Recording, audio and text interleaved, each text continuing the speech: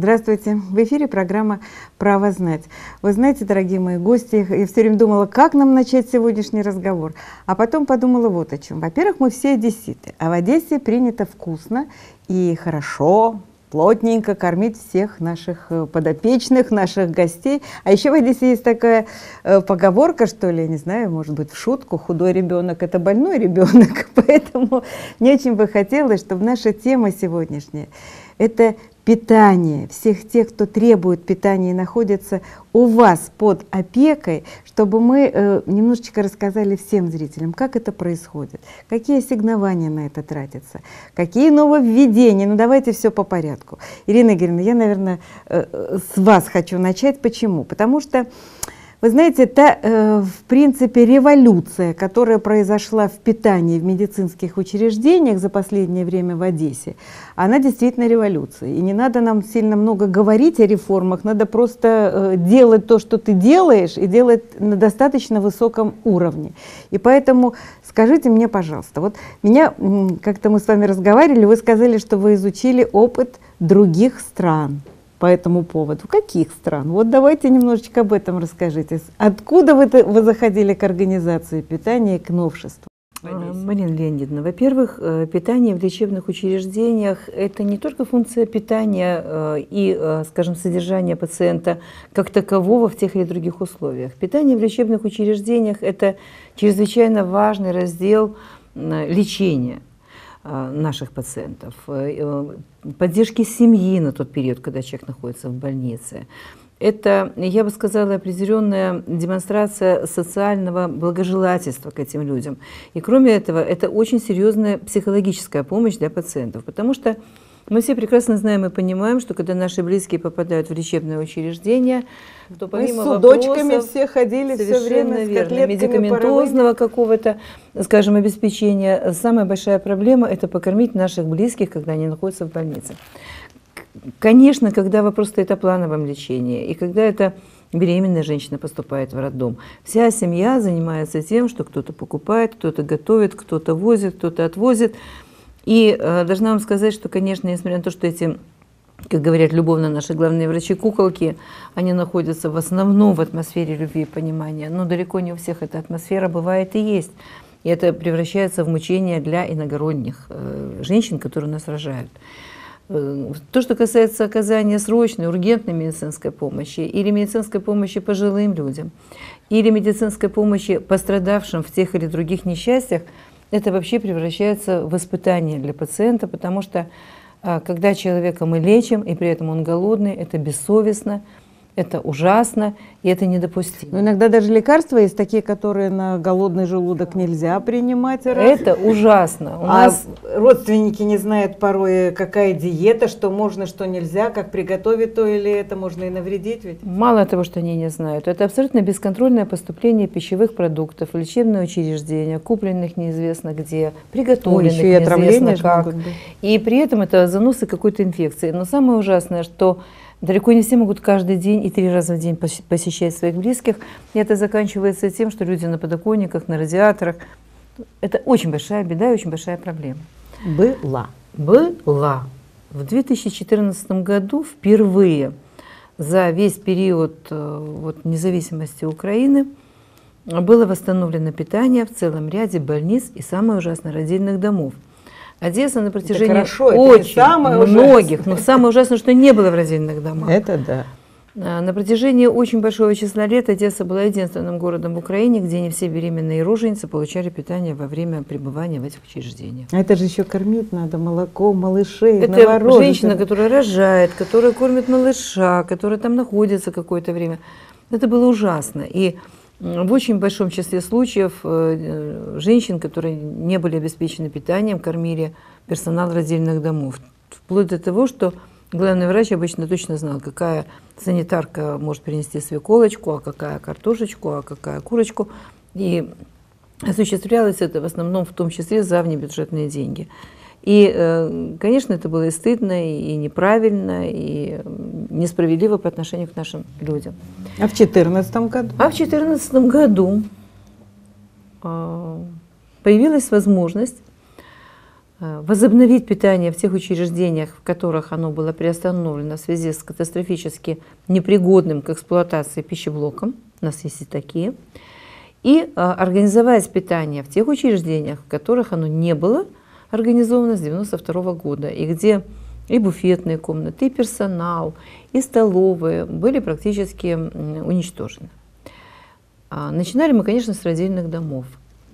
Это а, было сделано потому, что совпало желание городских властей организовать такое питание, активное желание и возможность, которую нам предоставил приказ а, Министерства здравоохранения Украины, который был к этому времени издан и который предусматривал такую вещь, как приобретение ну, вот, готового вы говорите, что и возможности предоставила и городская власть. Это значит, что сегодня получает э, трехразовое да, питание, э, или, может быть, не везде трехразовое питание В родильных домах четырехразовое, здесь трехразовое. Да? Конечно. Еще раз повторите. В родильных Конечно. домах сколько? В родильных домах питание на 74 гривны, четырехразовая, во всех остальных больницах трехразовая на 64 гривны. Во всех абсолютно городских больницах, где у нас а, поставляются готовые порции – а, питания, приготовленного на фабрике кухни.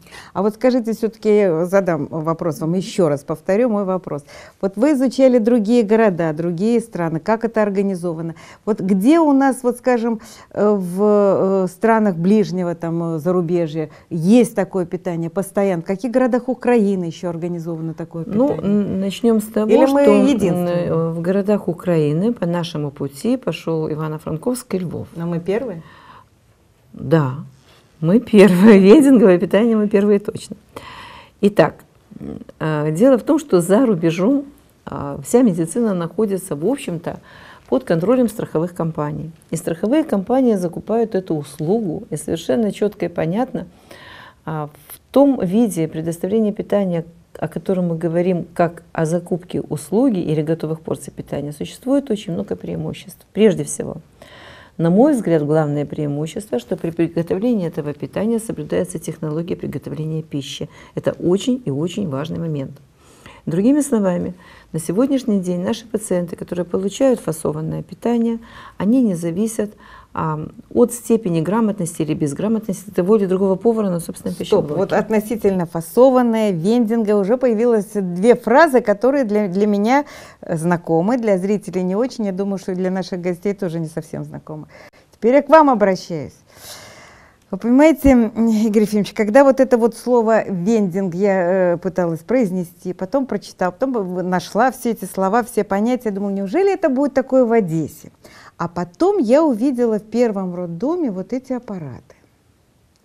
Я, честно говоря, ну, практически обалдела от того, что все это возможно. Ну, для детей, может быть, еще понятно. Там. Ну, мы, кстати, помните, были автоматы с газированной водой? Кидаешь там, а то, то что-то вылетает вода, сиропчик льется, и все это ушло, и у нас эта игра прекратилась.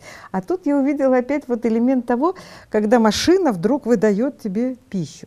Вот скажите, откуда это пришло к вам для того, чтобы организовать так питание в медицинских учреждениях, в роддомах? Ну, ну мы, вот где вы это нашли?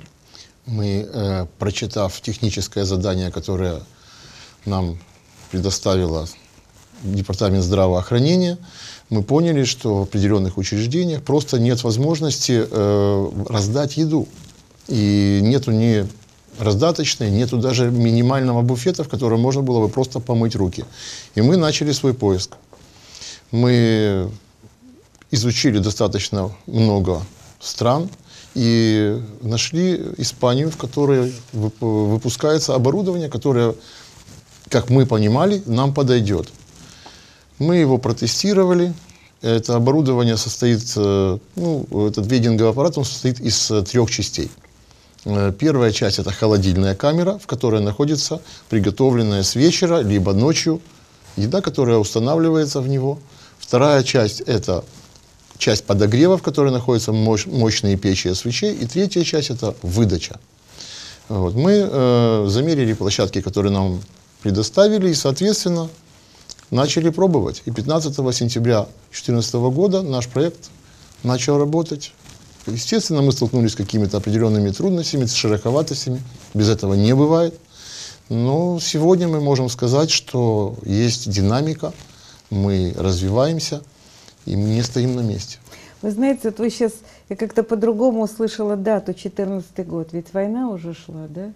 А то уже было, то есть страна находится немножко в другом состоянии, казалось бы, и бюджеты городские обеднели, а мы идем как-то вперед, организовывая совершенно э, даже неожиданные вещи, потому что действительно никто не ожидал этого трехстворчатого автомата которые в роддомах стоят. Ну, надо сразу сказать, э, что у нас не везде ведь стоят, э, и, у нас еще кое-где сохранились кухни, в нормальном состоянии еще кухни, да? Вот.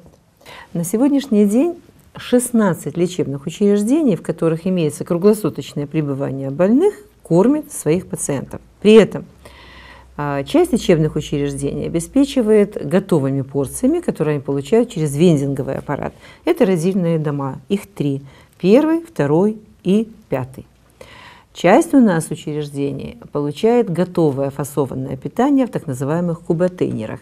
Честно вам скажу, это моя любимая система вот поставки питания. Слово неясное, давайте расскажем. Куботейнер – это коробка. такая большая красивая коробка, которая закрыта на такие защипы, клипсы, на которой клипсы, на которой есть абсолютно все паспортные данные, то есть и приготовление, и поставщики, и транспортировка, и сертификат практически на каждую готовую порцию. Там находится то количество порций. Одна коробка первая, одна, допустим, или там две, три, в зависимости от количества, второе и так далее. А, очень интересно то, что это все запечатано, это все приносит сотрудник, не наши женщины носят эти коробки, не наши Ваш рабочие, а поставщик. Да? Мужчина, я вам хочу сказать, что вообще всю эту систему организации питания через куботейнеры мы разрабатывали очень болезненно. Мы были первыми. Мы понимали, что к нам будет привлечено громадное количество взглядов. Мы просчитали все.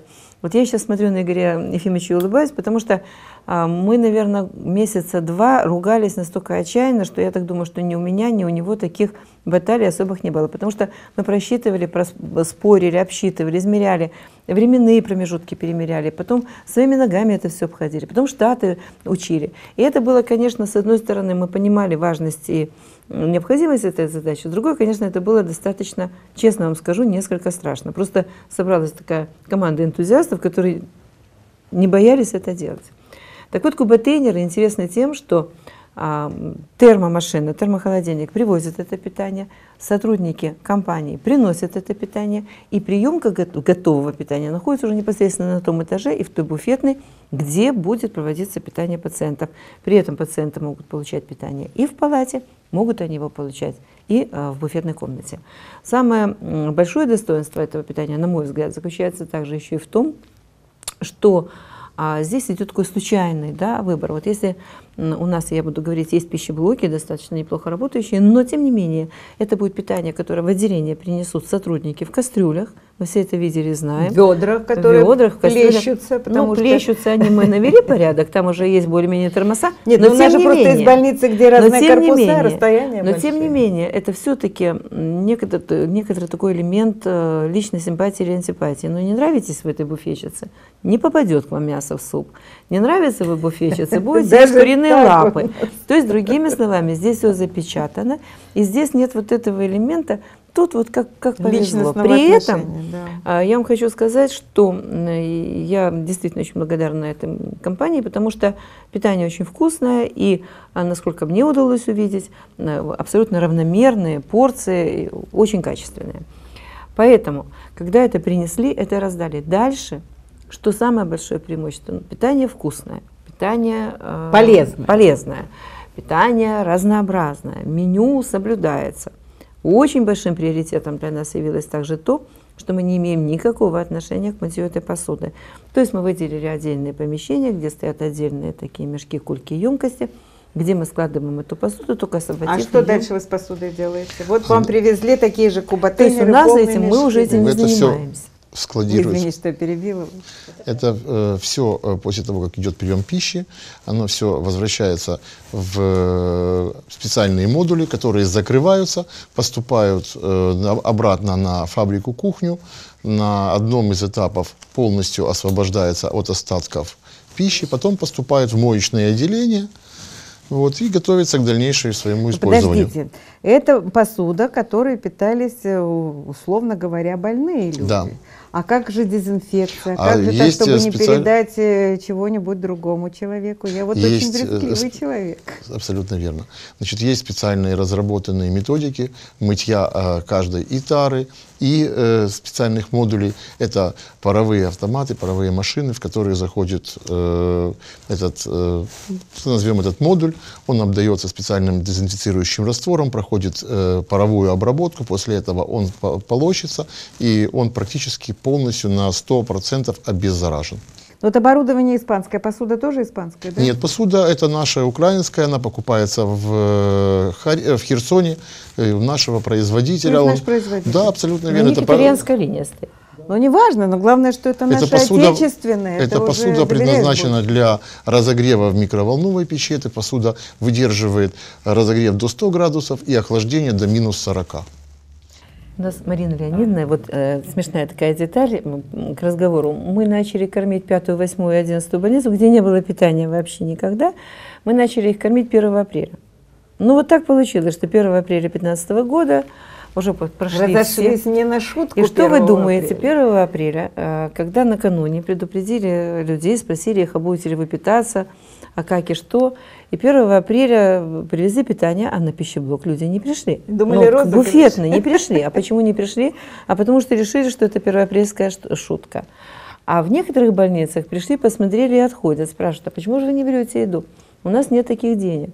То есть пока вошла вот эта система, пока люди поняли, ну, хочу вам сказать, что состав, конечно, пациентов несколько изменился, потому что у нас стало очень много госпитализироваться мужчин, которые до этого, мужчин одиноких, много, а, ухаживать и готовить им особенно некому. И когда они получили возможность вот, госпитального наблюдения, лечения и при этом питания, то, конечно, Так они мужчины уходить не захотят. не захотели. Они искали все возможности, но к этому есть очень строгие показания госпитализации. Вы знаете, Ирина Но самое интересное, Марина, Да. одну минуту. У нас был инцидент в 11 больнице. Когда граждане, пациенты задержали транспорт, который завозил питание, э, вытащили оттуда водителя и начали его спрашивать, кому платить деньги и кому сказать спасибо, и кто это вообще все сделал, и кто это придумал. Люди не верили, что это бесплатно, они думали, что это какая-то политическая авантюра. Что это как бы в очередную Да, предвыборную кампанию кто-то из кандидатов Да. в депутаты И решил один раз очень накормить. интересно. Мы выехали туда на место, успокоили пациентов. И я вам хочу сказать, что на сегодняшний день это чрезвычайно востребованная система питания. Еще хотела бы заметить, что несмотря на то, что мы можем готовить три диеты совершенно спокойно и э, есть определенные методики, которые нам позволяют упростить эту систему. Мы перед собой такой задачи не ставим. И м, там, где требуются диеты, То диеты тоже компания идут. Ну и плюс еще приготовляет диеты. те пищеблоки, которые работают. В э, Горсовете создана постоянная действующая комиссия, которая постоянно проверяет все питание на вкус, на цвет, на качество, на чистоту. Все там большая группа, я тоже вхожу в эту группу. Везде, повсюду проверяем питание. Ну вот, Надежда Васильевна, я смотрю, что вы так слушаете все и думаете, а вот мы в других сферах работаем. А что же у нас так медики хвастаются, хвастаются? А вы знаете, с чего я хочу э, свой вопрос вам адресовать? Это, наверное, с того, что, может быть, не в- во многих школах и детских садах я увидела приготовлении и в поставках продуктов абсолютно материнскую настоящую руку. И потом я познакомилась с вами. Вот скажите мне, у вас сколько внуков? Я знаю, всем скажите. Четверо. Ну вот. Вот это оно чувствуется, когда отношение совершенно другое, тогда немножко другие продукты. Вот я вечно ругаюсь с поставщиками, когда привозят вот такого размера морковку, которую нужно почистить, там что-то должно остаться, и, и- и все в растерянности. А тут смотрю совершенно другого качества продукты, совершенно другие люди работают. Я очень эм, уважаю вот ту женщину, которая у вас руками вставая там в 4-5 утра, замешивает тесто, ставит опару, и все это руками, и все как положено, но зато какие булочки, зато какой хлеб у вас получается. Вот скажите, пожалуйста, сколько вот вы работаете в питании, в организации питания в школах? Лично я? Да, лично вы. Ну, с 66 года. Ну вот видите, сколько лет. Это удивительно, ведь это ж вы необыкновенный опыт приобрели. Да, Ну- У нас э, само, само предприятие, конечно, э, это был еще трест общественного питания Центрального района. Еще район был центральный. Да. И в этом районе мы кормили и студентов, и школьников. А Затем э, организовалась новая организация споживче товариство «Центр», которая стала пра- правоприемником. И мы продолжали практически обслуживание в школах, которые были раньше в центральном районе. Практически они вошли в наш лот, который мы э, выходим победителем на конкурсных торгах. И люди у нас, конечно, работают э, много лет. Есть ну, у нас вот э, заведующие столовым там, или буфетчики, которые ну, очень заботливо, очень внимательно обслуживают детей, знают их по имени почти каждого ребенка. И даже э, многие знают их родителей, которые тоже занимались в этих школах. И, То есть уже династия И да, и как бы да. через эти булочки. Да. Ну, а потому что, э, конечно, э, люди работают уже тоже свыше 30 лет, в основном постоянный коллектив. Э, Работу знают очень хорошо. У нас э, с высшим образованием свыше де- э, 10 человек, э, 22 с, э, со средним специальным.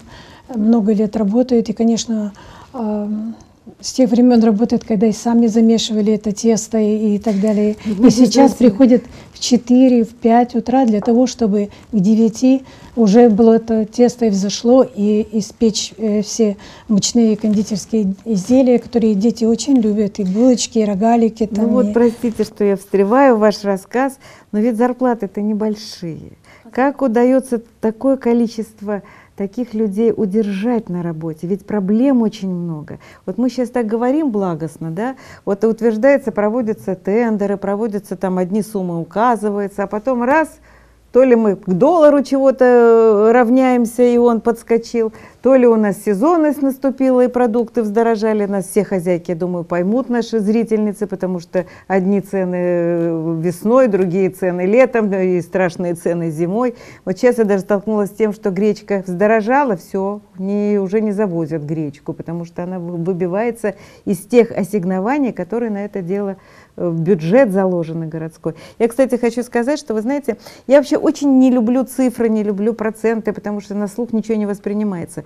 Но когда ты понимаешь, что на питание детей первых, четвертых классов в школах, малоимущих детей в школах, заложено в детских садах, кстати, тоже на питание детей в общей сложности 118 миллионов 175 тысяч, еще там еще какие-то денежки написаны. Почти 120 миллионов в бюджете города на детей. Сколько в медицине у нас примерно хотя бы? Ну, мы просим 41 миллион. Это на покрытие абсолютно всех расходов по всем видам питания. Это та сумма, которая нам нужна, чтобы мы обеспечили все абсолютно наши стационары Вот питания. плюс еще это. На малоимущих у нас заложено в городе э, около 12,5 тысяч. Это тоже очень большой блок. Э, Скажите мне, пожалуйста, э, Екатерина Ефремовна, вы ведь тоже, во-первых, долго работаете, во-вторых, Я 50 лет работаю в чистом 50 лет, да? Да. Вообще? Ну это как, это общепит был или... Раньше был общепит, Да. и вот, а сейчас и так я осталась работать в общепите. Но вы понимаете, вот понятие того, что э, мы должны кормить тех хотя бы один раз в день горячим обедом, тех людей, которые относятся к категории малоимущих. Но время идет, к сожалению, сейчас я смотрю, что вот мы в прошлой передаче говорили о том, что почти в два раза увеличилось количество малоимущих людей по разным причинам. Ну, мы все знаем, в- как живет наша страна, потому что мы вместе со страной живем, и те же пенсии получаем, и знаем, что есть нужды и э, на военные расходы, и знаем, что у нас совершенно по-другому сейчас устроена экономика, и мало у нас рабочих мест, поэтому люди у нас нищают. Вот это очень важный момент, что сегодня есть возможность накормить людей. Их по бюджету, ну, в общем, по городу чуть больше там э, двух тысяч, по-моему, да? Да. по бюджету на весь город. Ну, мы, допустим, питаем 230 человек. Да, Это в есть год у у нас, нас и- получается около миллиона гривен выделяет горисполком. Вот. Но кроме этого мы питаем, конечно, и людей, которые приходят, э, такие, которые, ну, жалко на них смотреть. Это, понимаете, вот это те люди, которые не входят в Не бюджетное входят, да, ассигнование. а много к вам таких людей приходит? Много. И 10 человек, и 20 человек, может, зимой было очень много. А летом они уже как-то рассеиваются, наверное, лишь потому, может, что фрукты, овощи, знаете. Ну да, а зимой, конечно, очень. И как вы выходите из этого положения? Выходим, выходим из положения. За счет предприятия мы много кормим. Поэтому, Но знаете, сейчас действительно больше стало, да, людей? да, да. Вы знаете, я вообще кормлю э, малоимущих еще с 89 года. И, и ни Еще один программ год не было, еще не было не было. программ еще. Еще тогда выделял э, район. Малиновском район выделял, потом, э, потом горисполком выделял, потом опять район выделял, потом, э, в общем, Ну, переходило. сейчас уже вошло в программу. Вошло в в программу, ритм, и да. мы питаем где-то 200-230 человек ежедневно. Вы знаете, я благодарна и светлой памяти Виктора Борисовича Станкевича, который организовал тогда столовую ветерана. Она была первая столовая. Помните тогда, Да, когда люди да, потянулись? да, и тогда да. целую систему человек организовал в городе. Разная, конечно, у него очень сложная судьба была. Но благо было то, что подхватили, и она стала действительно городской программой. Правда, э, разные направления мечтались, там и помощи, и какие-то там бытовые проблемы решить для малоимущих. Но не все получилось. А вот питание осталось. Но вот м, тот момент, что сегодня в каждом районе существуют такие столовые для малоимущих, это великое подспорье. Я сказала 2000, но, по-моему, там уже больше, там 2200, сейчас еще набирает ход.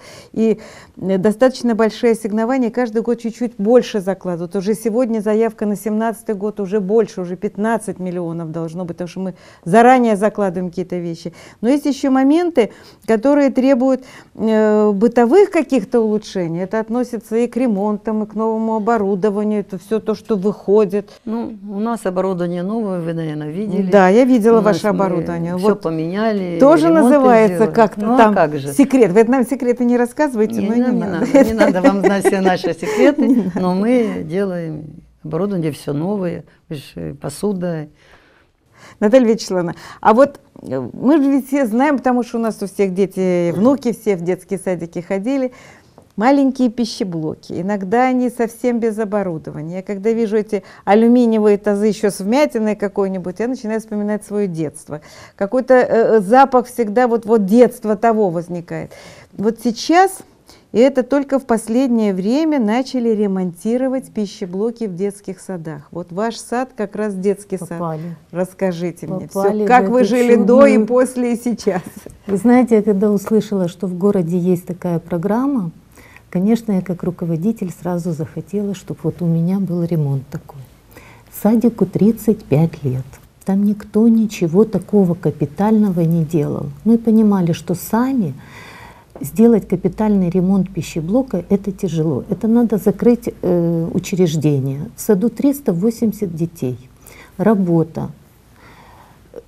Оборудование- невозможно, Это кажется. невозможно. Невозможно а оборудование приобрести, дорогостоящее оборудование. И такая программа, конечно, каждый руководитель, надежда есть, вот нам, нам повезет. И тут, конечно, в стране кризис. И я где-то понимала, что, наверное, что-то ну, не получится. Кризис политический, экономический. И выполнение таких программ — это тяжело. И вы знаете, вот до последнего не верила. Я даже говорила сотрудникам, пока не зайдут строители, я никому не буду говорить, что будет ремонт. Сами не верили. Не верила, не верила до последнего. Как же это чудо произошло? Вы знаете, такой капитальный ремонт полностью. Тут даже всё- глаза увлажнились. Да, потому что вы это пережили. такая Ну, ну, боль это э, детских садов, это питание, питание малышей. Полностью все отремонтировано, полностью новое оборудование, Кто ремонтировал? За чей счет? Скажите мне. Я вот... Не за счет города. Но э, вы знаете, это очень хорошо, что город сегодня находит эту возможность и находит Внебюджетные Вне- средства, за которыми стоят меценаты, средства. за которыми стоят спонсоры, за которыми стоят те же организаторы производства. Это за Сегодня- счет города, но не за счет бюджета. Да, за счет города. Потому что привлечение это инвестиций, город- Да, совершенно да, верно, да, это привлечение город инвестиций сделал. это тоже городская задача Правильно. и честь. Поэтому это за счет города. но не Я сегодня вот слушала Я э, про Не-не-не, э, это- медучреждение. Конечно, я вспоминаю себя в роддоме. это питание, действительно, это проблема. Но как вот, остался папа дома один с ребенком, я рожаю второго. Кто будет готовить мне кушать? Приехала мама, мама готовит, ребенок маленький дома. Ну, это И никто колосса- не знает, что сок должен быть только из зеленых не, не яблок. знали, Вообще не никто знали. этого не И, знает. э, вы знаете, как мама, бульончик пожирнее, котлетка по позажаристей. А потом, ой, где мое потом же молоко, Это, да. конечно, и где молоко ребеночка почет, конечно, это колоссальная работа. И в детских садах сегодня, вы знаете, вот этот ремонт, который прошел, он дал нам столько возможностей так разнообразить наше питание, потому что... Ну каких? Ну что вкусненького такого готовите Ой, после знаете, ремонта, когда что мы начали от писать э, мясное суфле, нас все спрашивают, что это такое? Потому что у нас была одна мясорубка для сырого мяса. Теперь мы можем на второй мясорубке перемалывать вареное мясо. Это технологии, это все нормы А санстанции. рыбу на третьей мясорубке. Сам- вы Я в понимаете? комиссию вхожу, я, Да, я знаю все, знаю, я уже я выучила знаю. все. Это дает нам такие запеканки творожные, сырнички, эм, огромная сковородка, электросковорода. Мы же как дома. Мы видим маленькие э, сковородочки наши. Когда нам привозят электросковороду огромную, вот как этих пол стола, и мы сразу в один-два захода мы жарим столько порций, сколько вот нам надо, по А 250. как дети едят? Нормально?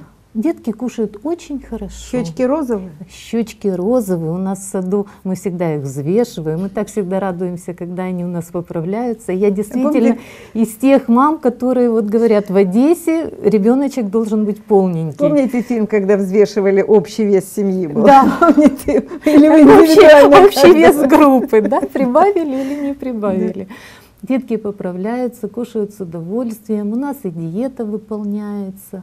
Конечно, и продукты сейчас прекрасные. Конечно, есть э, претензии. Ну, это Не, но они всегда и- и бывают. всегда, любая хозяйка на Они всегда бывают. найдет. Я просто хочу сразу вас спросить, Катерина Ефимовна, а что вы готовите? Вот у вас же всегда очень вкусно в самом кафе. А что вы даете, э, готовите э, вашим Ну, вот, допустим, подопечным? сегодня, допустим, был у нас суп гороховый, макаронные э, на гарнир, макаронные из зелени и печеночка жареная э, куриная.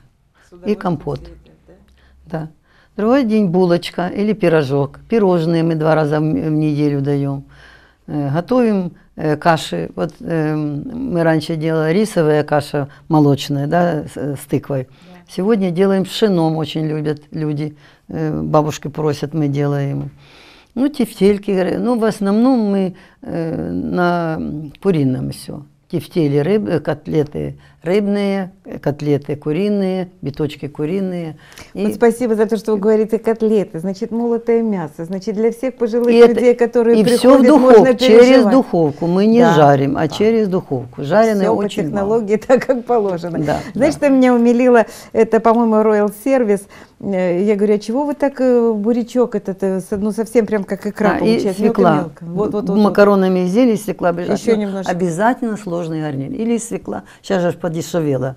Овощи Да, подешевели. да, да. Налетай, не да. скупись, покупай И капуста, и свекла, и добавляем. Так вот, натирает со всеми, говорит, чего вы так мелко натираете все? Говорит, ну так бабушки ж просят, они же укусить не могут. И все вот для человека. Но, кстати, ваш адрес тоже был э, комплимент.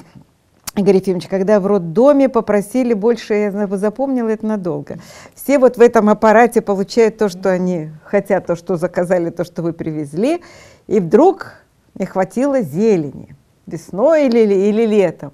Я спрашиваю главврача первого роддома, говорю, Ирина Леонельевна Головатюк из Польскую, а что же вы сделали? Говорит, у меня бунт был, мы попросили добавить зелени, что же вы думаете? На следующий день вылазит эта коробочка, она уже там из зелени, уже совсем питание. Вот как вам удается регулировать все вот это дело? Потому что я знаю, что сейчас вот были, кстати, нарекания, э, по-моему, в 11-й горклинбольнице о том, что там э, для диабетчиков нету, э, там сахар можно там заменитель положить рядышком, а можно вовнутрь. А мы знаем, как все диабетчики любят тихонечко сладенькое поесть. Вот, вот здесь вот регулируется как-то. Конечно, как удается? конечно. Мы э, закупили э, большое количество сахара в стикерах. Это для тех людей, которые не страдают э, сахарными боле... э, сахарным диабетом, а для тех людей, которые страдают сахарным диабетом, мы кладем специальная упаковочка с сахарозаменителем. То есть, если человек э, болеет э, диабетом, он вместо стикера с сахаром берет себе сахарозаменитель. Ну, я почему спрашиваю? Потому что есть такая профессия диет-врач, диет-сестра. Ирина Игоревна, у нас есть такие вот эм, факультеты или школы, где готовят сегодня Да, это так называемая вторичная специализация. И э, в Одессе таких нет. Э, В Одессе есть курсы для диет-сестер, но в Одессе нет специализации для диет-врачей. А, Хочу вам сказать, что на сегодняшний день а, вообще требования, скажем, к составлению диеты, а, они значительно упростились с точки зрения врачебного контроля, потому что на сегодняшний день это все доступно, информация это есть, она свободна, и для знающего доктора скомбинировать а, диету совершенно можно свободно, без помощи диетолога со стороны. Что касается диет-сестер, это более ответственная работа, потому что это и технологические карточки приготовления блюд, и контроль за технологией обработки продуктов, и контроль за закладкой, и контроль на выходе. То есть это полностью весь тот технологический обеспечение процесса и контроля, который необходим при приготовлении пищи. И еще хотелось бы мне сказать, раз мы сегодня обсуждаем эту тему, всем присутствующим здесь, я надеюсь, коллегам, а, очень трудный период времени. И на сегодняшний день я даже не знаю, что будет для людей главным. Будет ли для них главным лечение, медикаменты, будет ли для них главным цена газа. Люди больше всего боятся голода. И на сегодняшний день ни в коем случае нельзя оставлять ни пожилых, ни детей, ни больных людей без питания, потому что это очень большая беда в сегодняшних в сегодняшних экономических условиях. И я думаю, что мы неоднократно, каждый на своей должности, будем об этом говорить, потому что, насколько я понимаю, вот и как мы сталкиваемся, в том числе и с больными сахарным диабетом, мы начали выкладывать, когда э, ну, вот, бакалейные добавки, сахар, хлеб, там масло э, в отдельных упаковках, вот в таких, э, благодаря Игорю Ефимовичу, чтобы э, сделать диету, ну, скажем, гипоэнергетической для больных с сахарным диабетом, с избытком питания. Мы обратили внимание на то, что люди эти, продукты уже складывают в тумбочку, Домой, чтобы забрать. Складывают, сказать, передают да. близким, прячут булочки в тумбочку. И когда вот мы им говорим, вы не волнуйтесь, вот мы будем вас кормить, и вот столько, сколько вы тут будете находиться, и не надо этого бояться, мне кажется, что мы не имеем права сегодня оставлять эти страхи у наших горожан, и мы должны Ну, убедить их в том, что, что мы сделаем все от нас Ну, зависящее. вы понимаете, Ирина Игоревна, вот вздорожали, скажем, коммунальные услуги, да? Они же у всех у вас вздорожали. Это же значит, э, что вам очень сложно работать. Вот вышел из Киева, это же не в Одессе делается, в основном в Киеве все тарифы меняются. Вышел указ о том, что не надо кормить за счет государства, потому что там субвенции были детей первых четырех классов всех. А по решению Горсовета, по инициативе Труханова мы до конца учебного года оставили ту же самую сумму на питание первых-четвертых классов до конца учебного года. А что вы будете делать с 1 сентября, если не найдутся такие возможности? Ведь идет децентрализация, и не все понимают, что даже тот бесплатный проезд пенсионеров в транспорте, а это тоже еще одна статья э, бюджета семьи, очень важная статья, тоже может уйти, если город не возьмет на себя и эту оплату. Это очень серьезный момент. И вот, вот все то, о чем мы говорили, в общем-то, у нас благостно, потому что действительно находит город деньги бюджетные, внебюджетные. Спасибо Светлане Николаевне Бедреге, которая меня все-таки научила, что все идет через город и не бывает денег каких-то со стороны. Может быть, только в предвыборной кампании, я так думаю. Тем не менее, мы же должны выжить. Что будете делать с 1 сентября, если уменьшится все равно ассигнование? Ведь у нас до сих пор все время росло. Сколько сейчас на одного человека в медицине? Вот вы называли уже сумму, давайте еще раз скажем. Уроженец.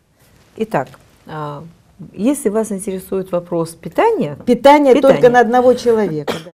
Питание на одного человека путем закупки услуги а, фиксированное по количеству койко-дней, которые планируется провести в Так. текущем году. Питание а, пациентов в многопрофильных больницах, взрослых, составляет 64 гривны.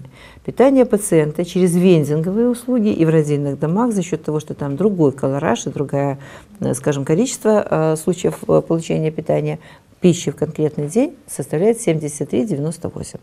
Катерина, Ивановна, у вас сколько сейчас на 20 человека? гривен на человека. 20 гривен. 20 гривен. Совсем недавно было еще Да. 9. помните? Обращаю да, внимание да, на да. то, что ну, мы, спасибо, Марина Леонидовна, конечно. тут есть вот такой вопрос. Добавили.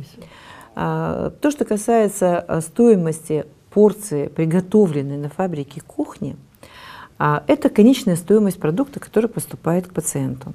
Если мы говорим, что сегодня, допустим, порция на одного пациента в сутки в больнице, которая имеет свой пищеблок, не стану говорить в какой, планируется как 29 гривен, то здесь надо учесть, что сюда не войдет содержание персонала, содержание пищеблока, коммунальные платежи, расходы а, привезти, увезти, обработка всё. посуды, приобретение оборудования. Идет вопрос только о стоимости продуктов питания.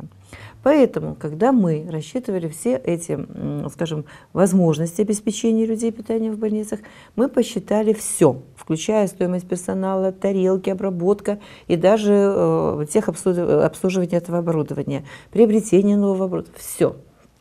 Без приобретения нового оборудования у нас получалось, что у нас есть учреждения, в которых стоимость продуктов питания, допустим, на одного пациента в сутки 29 гривен, а содержание вместе со всеми опосредованными, скажем, а, вторичными платежами составляет до 90 гривен. При этом следует сказать, что у нас есть пищеблоки, которые строились из расчета на 800 больных в сутки. А Много цифр уже все 120 запутались, честное пациентов. слово. Нет. Запутались. Я хотела Так это трехразовое питание. Трехразовое, конечно, трехразовое. Вас Понимаете, один раз конечно. Я бы. Конечно. хотела успокоить э, всех тех, кто критично относится к нашей работе, тем, что мы сегодня оплачиваем непосредственно ту услугу, вот пациент и вот его желудок. И между пациентом и желудком не будет никакого постороннего влияния, ник- никаких случайностей, и никто ничего не заберет. И вы так тоже мы живете, да? финансируем напрямую на Надежда пациента. Ивановна, Расскажите про ваши сложности. Я знаю, что в детских садах сейчас тоже до вас вопрос, вопрос дойдет. Все-таки ответьте мне на мой вопрос. Как вы планируете жить с 1 сентября, когда ассигнования меньше будет, когда коммуналка подороже, когда бензин подороже? Что будем делать? Конечно, у нас сейчас 9.50 э, обед на, на завтрак э, учащихся 1-4 класса и 13.50 на э, малоимущего, с малоимущей семьи ребенка. Безусловно, мы сейчас прошли торги понимаем, что в стране так, к сожалению, и что по всей Украине либо отказались от питания, либо эм, уменьшили э, суммы. И это, конечно, к великому сожалению, потому что как бы мы все знаем, что по исследованиям э, ребенок здоровье э, 60% зависит от того, как он кормится, э, от получения сбалансированного питания э, по нормам, по постановлению 1591 и так далее. Безусловно, у нас сейчас стоит большая задача, что это постановление практически выдержать будет сложно. Тем не менее, мы прошли уже конкурсные торги на сумму обеда 5,50. Вот, и э, даже, э, даже э, болит душа, но даже за это большое спасибо, потому что все-таки ребенок не будет совершенно Перекусит, перекусит. А голодный. что это да. будет, вот такой Это перекус? будет, э, э, допустим, булочка, эм, э, булочка с сосиской, э, чай э, к булочке. Чай, компотик, Да, что-то да, такое. может быть, будет, э, м, ну, будем стараться, как говорится, как это вот у нас снабжение очень конкретно идет по заявкам, по э, цикличному меню, и мы исходим с того, чтобы максимум оказать то, что нужно ребенку по воз- возрастной группе его питания. Понятно, конечно, надо искать средства для того, чтобы дети ели, потому что есть все равно же останутся льготные категории, которых пусть мы не всех будем кормить с 1 по 4 класс, но останутся льготные категории, которые обязаны мы будем накормить. Вы знаете, я даже э, и не раз, и это зачастую бывает, что вот то питание, которое дают в школах, может быть, дети один и единственный раз вообще в день едят. И это настолько печально, вот то, что сейчас, ну, я думаю, что мы все-таки в Одессе живем, ну, выкрутимся как-нибудь, ну, найдем мы деньги, ну, Конечно. добавим на питание. А вот в детских садах многие родители жалуются, что они доплачивают за питание. Что, как, вот как это происходит, потому что, понимаете, все думают, что это вот сдал ребенка и взял ребенка, и все, и, и никакой ответственности. Они доплачивают. Мы ребенка кормим на 28 гривен в день. Это Да. трехразовое питание, полноценное трехразовое питание. Родитель платит 60% от этой суммы, только 16,80. Остальные 40% оплачивает город. И это большая, колоссальная такая помощь, потому что сегодня в среднем за месяц 20 рабочих дней, конечно, суммы выходят, ну, Некоторым родителям тяжело, чего здесь скрывать. Есть, конечно, льготные категории. Это и многодетные, и дети-сироты, и малоимущие. Э, Многодетные 50% оплачивают от 16,80. То есть это вот эти 60%, которые легли на родителей, многодетные еще, Еще пополам. пополам. Да, это надо понимать, потому что действительно город помогает. Сироты и малоимущие 100%. Э, Питание предоставляем, То есть, диету э, предоставляем. Бесплатно питаются с- э, сироты, Сироты. и малоимущие, да? Да, да, да. Предоставляют мне документы. Если документы все соответствуют, конечно, мы подаем, издаем приказ, и детки переводятся на вот такие льготные оплату за питание. Питание разнообразное. Я думаю, что не каждая мама на 28 гривен три раза в день покормит С малыша. этим даже никто не спорит. Суфле с Рыба, мясо, молочное, масло, каши, все, все. Витамины, компоты, соки, сухофрукты. Придешь проверять, я смотрю, что на складах всё, ну, Вы всё знаете, есть, вот всю зиму, всё. казалось бы, фрукты, все цитрусовые, апельсинки, мандарины, бананы, лимон, яблоко, все мы давали, мы все давали деткам. Кто Сейчас организатор производства э, питания у вас? Вспоминайте, надо сказать спасибо этим людям, потому что яблоки, лимоны, апельсины, бананы, пусть по кусочку, но это ж кусочек витамина. конечно, город. Нет, нет, ну город понятно. Я просто Им, знаю, что очень много 21 предприятий век. занимаются. И я не хочу сейчас все называть, потому что действительно их очень много. Организаторов производства, различных поставщиков, которые проходят тендеры очень серьезно. Количество ГОСТов, рамки, кто, когда, Сертификаты, сертификаты. вакуум, мороженое всё. нельзя, Я э, все время всё, борюсь да. с рыбой, которую из Китая почему-то везут. Сейчас уже стала у нас канадская рыба, уже немножко поправились все. Но я думаю, что все-таки в развитии все находится это. И как ни сложно, все равно же мы умудряемся кормить за бесплатно тех детей, Все которые свежее, требуют. то, этого. как готовим и сразу на стол. Ничего же мы и продукты А как не родительский храним. комитет у вас не сопротивляется то, что вот есть дети малоимущие, есть дети-сироты, которым необходимо вот накормить Вы бесплатно? знаете, есть э, совет по питанию, рада по харчеванию. Туда входят, конечно, родительские комитеты. И мы с ними это все обсуждаем. Все обсуждается, все оговаривается. Даже есть моменты, когда действительно надо кому-то помочь. Уже я не за питание говорю, где-то какие-то вещи. Потому что ну, сегодня действительно люди Сложно, понимают, тяжело что сложно. сложно. И мамы, которые рожают, им низкий поклон, потому что сегодня не каждая женщина согласится э, родить третьего, четвертого, э, и на второго не каждая э, решается. У нас очень много Да, многодетных да, семей, надо честь хвала должное, и да. женщинам-одесситкам, и папам-одесситам за то, что они на себя такую ответственность. Я из общества защиты мужчин, поэтому, поэтому я всегда привечаю тех отцов, которые остаются отцами многодетных семей, они бросают эти семьи. Сегодня э, количество воспитывала 5-6 многодетных очень увеличилось. Я даже по своему саду знаю. Я 10 лет назад пришла в сад, у меня было всего 5 многодетных. Сегодня у меня их 18. Это, ну, такое время молодцы. Я, честно говоря, рада.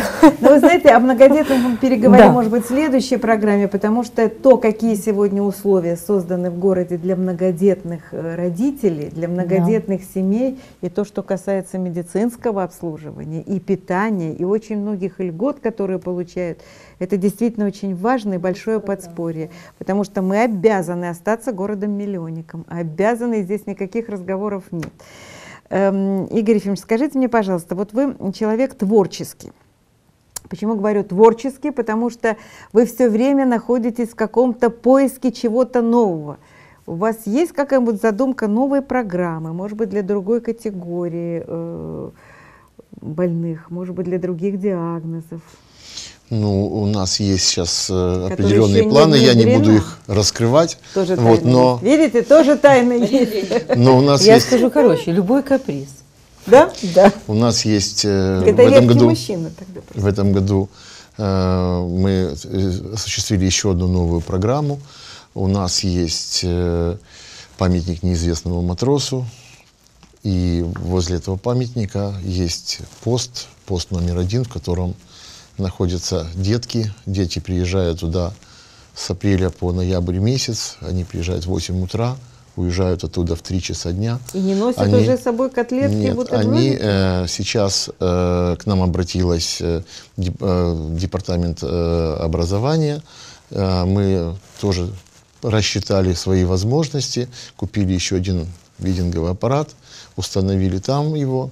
И сейчас детки получают э, полноценную еду, потому что раньше они ее получали, но они получали ее с понедельника по пятницу, а с пятницы, субботы и воскресенье ну, у них был так называемый сухой паек. Вот сегодня дети получают полноценное питание всю неделю. Э, Городской совет принял решение, немножко повысил стоимость питания, и я могу сказать, что мы уже как бы наша компания от себя еще, и мы знаем о том, что каждый ребенок там ходит на пост, он испытывает физические нагрузки, и ребенок должен питаться хорошо и получать еще какие-то витамины. И мы детям даем обязательно и яблоки, и апельсины, и бананы. То есть Видите, это как важно это. Вот достойный отец. Спасибо вам, во-первых, за это. Я теперь только поняла. У меня друзья приехали на празднование 9 мая в Одессу из Белоруссии. И они все время говорят, вот мы были на эм, аллее славы, там столько народу, там столько цветов было, мы очень много, много ходили, бродили, но мы там такое видели. Я говорю, а что же вы увидели? Говорит, вот это я вам да, обязана рассказать просто. Там в маленьком домике, где едят дети, которые на посту стоят, стоит машина, и она выдает еду. Вот скажите, а как происходит загрузка? Вот вы э, сколько раз в день загружаете все это? Потому что для меня это действительно, ты недаром вспомнила в начале разговора, вот этот автомат, который газировку выдавал. Потом у нас появились э, машины, банкоматы, там, где из стенки деньги вылетают. Но вот когда из машины первая, вторая, третья выходит, это действительно Машина фантастика. загружается э, в зависимости от э, цикличности питания. Если это есть завтрак, обед, ужин, то машина загружается три раза. Если это обед, машина загружается, естественно, один раз. Э, В машине работает программа следующим образом. Она может, э, доставая из ячейки определенный вид продукта, она может либо его разогревать, либо отдавать его непосредственно в окно выдачи при температуре, которая была в холодильной камере, плюс 5 градусов. Это мы говорим с вами о каком-то, допустим, гарнире и салате. А если Вообще это пер- вендинги. Вендинги, да. То есть если- если это э, первое блюдо, но первое и второе блюдо нагревается до температуры ши- плюс 62 градуса. Спасибо. Коротко говоря, Очень это много смесь нового. микроволновки и холодильника. То есть там есть функция, вот там и холодильник, и микроволновка. Представляете, сколько людей Включается или такую роддома функцию, или такую на эту машину. Это было очень интересно, когда, м, когда в общем, начали вот работать по этому вендингу, и приходили очень много гостей, которые всегда говорили, а кто за это платит? Кто? Люди могли понять и поверить в то, что это будет вот что это платит город, и что эти возвращаясь суммы вкладываются в к первому сотни вот миллионов. вопросу вы меня спросили, как-то мы так ушли от этого разговора, как же организовано в других э, странах. Так вот, э, в странах Евросоюза э, пациенты получают питание только в таком виде, вот порционное, дозированное, запечатанное, при том, что там есть такие специальные термо, как бы сейфики такие, и там вообще может поступать это питание вот в таких как бы сейфиках, тоже многоразового использования. То есть вот такого вот То есть мы уже в черпака, Евросоюзе, тарелки. да? Наши Этого роддома в Евросоюзе нет. уже. Да. Евросоюзе Ну. Ирина Игоревна потихоньку раскрывает наши дальнейшие планы, поэтому... Уже мы это, это мы успокоились мечтаем. Но я вам хочу сказать только одно. Мне кажется, что вот как бы там дальше не сложилось, знаете, вот у меня э, бабушка, дедушка, вот они здесь пережили оккупацию, и как-то мы сидели, у нас была большая очень семья, мы часто собирались, и всегда вот вспоминала бабушка те времена, она говорила, самое большое количество вкуснейших блюд было в самые голодные годы, потому что умели готовить. То есть чем больше творчества человеческого, тем можно удешевить эти продукты. И мне кажется, что мы все равно найдем выход из ситуации. Да Обязательно. найдем, конечно же найдем. Быть такого не найдем. может. Катерина Ефремовна, правда не может такого Не, быть? не может быть. У вас же настолько разнообразное Да. питание, вы ни разу не сказали слово сосиски, вы ни разу не Ну, сказали да, сосиски как пельмени замороженные. Когда, когда только просят. Я Просят, могу дать что- один раз в два месяца. Ну, потому что Просят. люди хотят, может быть, домой взять на три дня, э, Конечно. соцработники, наверное, просят что-то. И Конечно. все-таки предпочтение тому, что готовят ваши повара. Ведь отменно готовят. Хорошо и вкусно. Ну, благодаря вам есть кого Конечно. поучиться, благодаря вашим поварам и вашим, Надежда Васильевна. И все-таки давайте, может быть, мы сделаем коротенькую такую вот мгновенную паузу и подумаем, о чем вам мечтается, чего бы нужно было бы еще сделать нам всем вместе, одесситам, вместе с городской властью, для того, чтобы, может быть, наш опыт в области вы передали, может быть, все те люди, которые сегодня нас смотрят, я уверена, что очень большое количество людей даже не подозревает, что вот такое у нас происходит в городе с питанием, и какая машина большая крутится и вертится вокруг этого, и какие огромные ассигнования идут из городского бюджета. Спасибо ну, практически всем, кто занимается вот таким очень сложным делом. Вот все-таки о чем мечтается? Давайте-ка начнем с мужчины, поскольку он, видите, какой творческий у нас. Ну, я бы хотел, чтобы в нашем городе сохранился покой. Это моя самая большая мечта и желание. Я хочу только этого. Да, это так, это очень важно. И главное, мне кажется, я сразу вашу мысль добавлю относительно покоя, что те люди, которые сегодня кидаются лозунгами, которые вспоминают какие-то дела давно минувших дней, понимали, что делается сегодня, и ценили то, что делается сегодня в городе городской властью. Это очень важно для того, чтобы сравнить с, с целым с областью, с целым в целом со страной. Мы все-таки идем вперед, и во многом мы очень первые и сохраняем все это все. Надежда Васильевна. Ну, а при таком покое, как говорится, в городе мы предпримем все абсолютно меры, чтобы наших детей, учащихся, как говорится, нашу нацию, наше будущее растить здоровыми, то есть кормить нормально и отдавать свои все силы для того, чтобы было все хорошо. Я вас очень прошу, вот тех женщин, которые встают чуть свет и начинают руками замешивать такое количество теста, дайте нам возможность, предоставьте нам фамилии, чтобы они могли немножко передохнуть. Может быть, тоже за счет города, для того, чтобы еще лучше и еще больше они понимали, как они нужны. Нужны всем тем детям, которых они кормят. Вы знаете, вот я вас, да. э, слушаю критиковать, вот, ну, у нас сегодня так принято, у нас много программ, у нас много журналистов, э, деятелей, которые критикуют. Критиковать всегда легко. А вот стать и сделать, как сегодня это делается, строятся детские сады, которые не строились очень давно. Де- Возвращаются, в город из той возвращаются. аренды, что отдавали да, раньше. Да, Э, делаются капитальные ремонты пищеблоков. И не только пищеблоков, делаются и крыши, и, И не спортивные, и, не садах, то- но и и в больницах, школах, и в и в школах, и в больницах. Это колоссальная работа. Асфальтируются дороги. То есть, несмотря на все сложности сегодня в стране, работа не прекращается. Все соцпрограммы наши все работают, которые работали, ну, многие говорили, это выборы. Ну, чего здесь скрывать? Прошли выборы, ни одна программа не остановлена. Все работают и все делают свое дело. Все социальные программы Вот знаете, когда живы. каждый делает свое дело, тогда и детки счастливые, и мы здоровые, и мир в стране, и в семьях покой. Вот Спасибо. хотелось бы так. Спасибо вам большое, спасибо. Вы очень, очень правильно все, все почувствовали, по-женски правильно. Ну, я хочу Ефремовна. сказать мера спокойствия в нашем городе. Э, Ну и, конечно, программа, чтобы была дальше. А мы будем стараться. И Вы знаете, наверное, вот вам мне хотелось бы всем тем, кто занимается теми столовыми для малоимущих, мне очень бы хотелось пожелать, чтобы как можно, может быть, меньше людей нуждались в том, чтобы они приходили вот за этим одноразовым горячим питанием. Особенно тех, которые еще и внебюджетные. Они ведь действительно их все больше и больше Но, к сожалению, Хочется становится, пожелать, да. чтобы было меньше, чтобы каждый человек в своем доме имел возможность приготовить, за что купить, что купить, и приготовить и быть сытым. Это ваш посыл. Но, во был, всяком да? случае, мы ни одного человека не оставим голодным. Спасибо вам за это. Спасибо и низкий поклон всем тем, кто занимается вот таким очень добрым, благородным делом, благотворительным делом. знаете, я думаю, что этот город можно или любить, или вообще тут больше делать нечего, делать. Поэтому я абсолютно убеждена, с этим городом все будет благополучно. И э, мне бы-то хотелось сказать, что этот город, когда кормят одиноких, это не только еда, это любовь и внимание. Я даже не знаю, людям иногда это больше нужно, даже чем просто переку- по- покушать, да?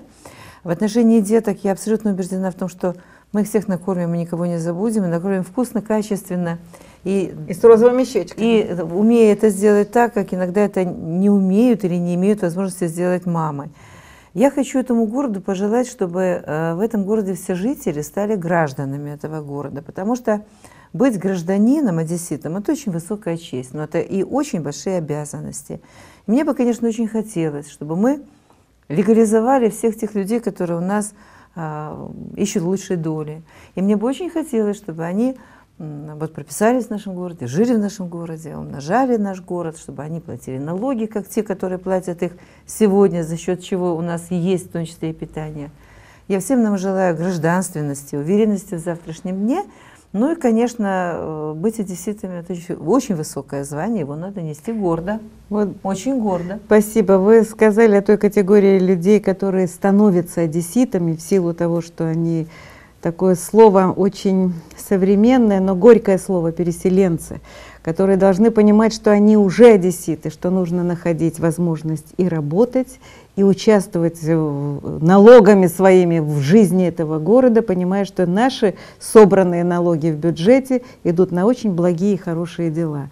И мне, вы знаете, вот я сейчас слушала вас и думала, что все-таки патриотизм, наверное, это слово-то громкое, но оно должно быть в сердце у каждого человека, и тогда ты понимаешь, что своим небольшим делом, со своим небольшим коллективом, за очень небольшую зарплату мы делаем великое дело, великое дело, потому что это все наш родной город, это все наши одесситы, это наши дети, это наши старики, это наши роженицы с желанием быть многодетными семьями.